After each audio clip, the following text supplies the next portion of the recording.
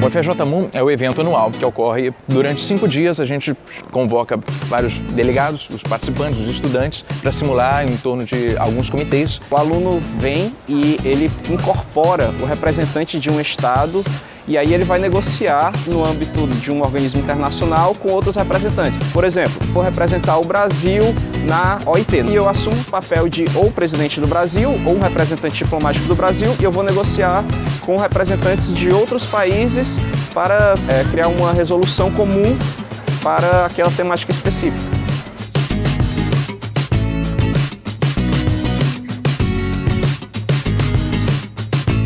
Então a gente tem o Clube de Simulação e o evento FRJ Mundo.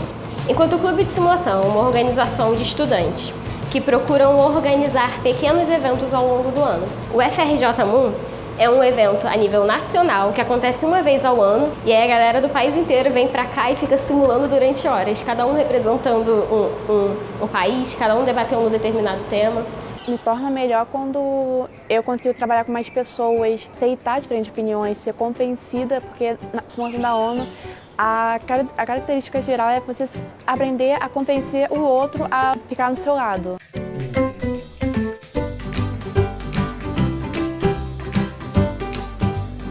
As simulações que eu fiz até hoje, eu acho que eu aprendi muito a controlar, a ser mais paciente, eu consegui me desenvolver melhor é, em termos de oratória, em termos de, de desenvoltura verbal. Também a gente aprendeu muito as políticas externas de cada país. Você aprende a desenvolver a capacidade de negociação, de dialética. Além disso, participando dados bastidores, organizando as atividades do clube, você aprende conceitos, sei lá, de administração, de liderança, de lidar com as pessoas, de saber é, organizar um evento. Para participar das atividades do FRJ Moon, sendo estudante do FRJ, você pode participar do processo seletivo.